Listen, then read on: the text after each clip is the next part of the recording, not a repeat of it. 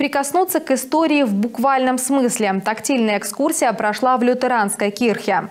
Очередную экскурсию для незрячих и слабовидящих людей организовала специальная библиотека для инвалидов по зрению. Библиотекари подготовили тактильные иллюстрации, чтобы читатели смогли оценить размеры кирхи и органа, расположенного внутри.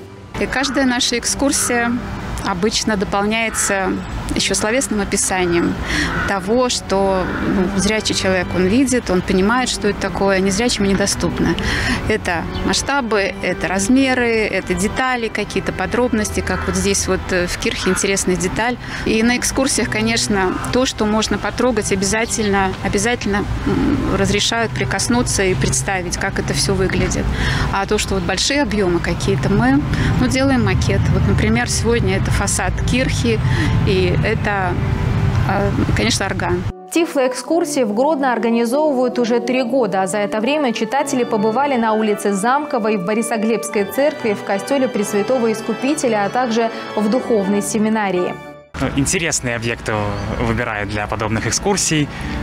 Лично для, для себя могу сказать, что мне интересно всегда узнавать о том, какие вообще э, исторические не только объекты есть в нашем городе. Если что-то я до этого знал, то освежаю это в памяти. Если не знал, то ну, впервые услышал об этом. И всегда это познавательно и, как правило, рассказывает хорошо. Ну, с точки зрения описания хорошо можно четко представить, как, например, выглядит э, тот или иной объект. То есть с этим никаких проблем, в общем-то, нет.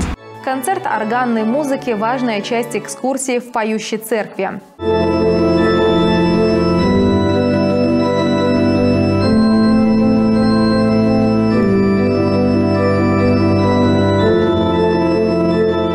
Здесь звучит не только классика, но и музыка из популярных фильмов, чтобы люди с нарушениями зрения смогли не только представить храм, но и ощутить его атмосферу. Словом, все продумано до мелочей.